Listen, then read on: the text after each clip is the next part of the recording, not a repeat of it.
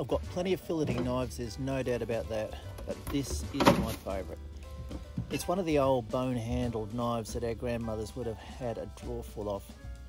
This one in particular has a good blade, it's got a little bit of flex and it sharpens beautifully. The handle broke on it some years ago, so I replaced it with a piece of dowel. You'll notice too that the dowel is on a bit of an angle to the blade. That gives it a much better feel in my hand, and I can also grab the blade and the handle at the same time, which gives me a lot better control. I particularly like using this knife to fillet whiting and a lot of those other small school fish the rounded end on it helps to run over the bones and the rib cage and I reckon I get better recovery from the fillets with this knife. I always like to try and scale fish before I bring them home, whether I'm on a beach, out in the boat.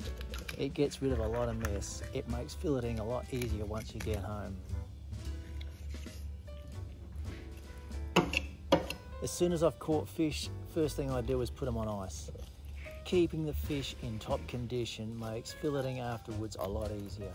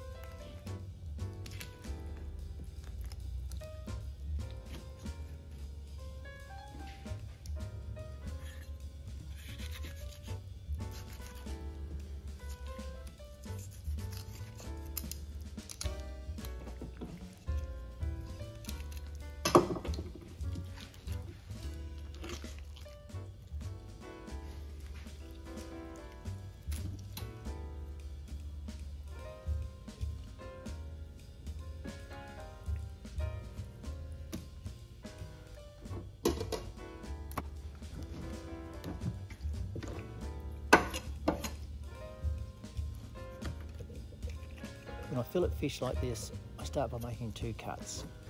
One just behind the head on one side of the backbone, and then I make another small cut just the other side. I go back to the start and then run the knife all the way down and just free that fillet from the backbone and the rib cage.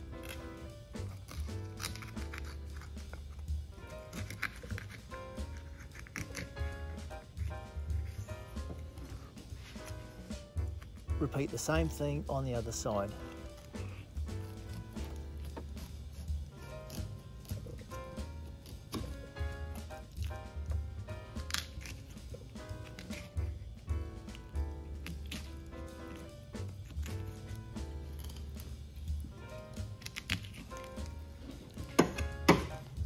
Once I've finished with the fillets, I take the knife, put it under the pectoral fin and slice up towards the head. Run the knife around the fish, do both sides, and this part then allows me to grab the fish with the fillets and the head, stomach and backbone all come away in a nice, neat, clean manner.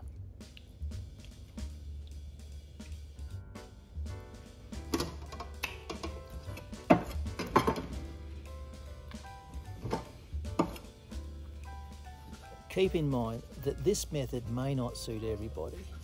Once you've removed the head, backbone and stomach and you've got the two fillets joined together, there are a few bones left around that rib cage area.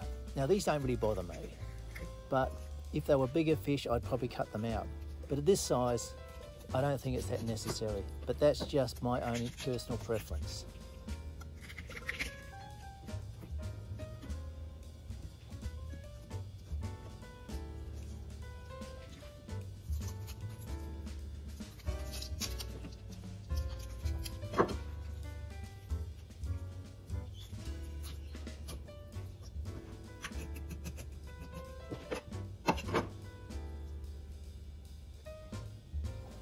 When I fillet fish, I always try to avoid washing the fillets in water afterwards.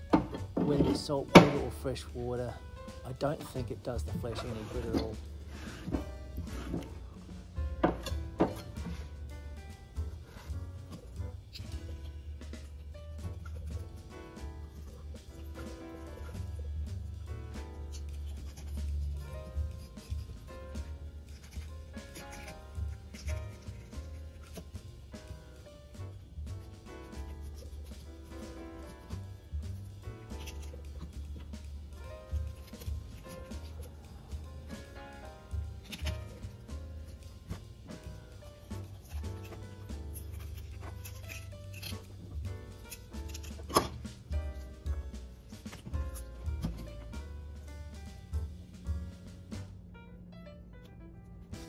Got a very simple setup here to fillet fish on. It's just one half of an old double sink. I sit that on top of a tub, a very large shopping board.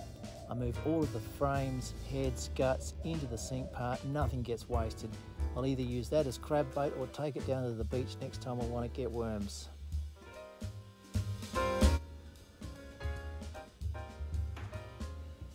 Once you've got all the fillets done, remember you can always trim them up afterwards if you so desire. But as I said earlier, for me it doesn't really bother me that much.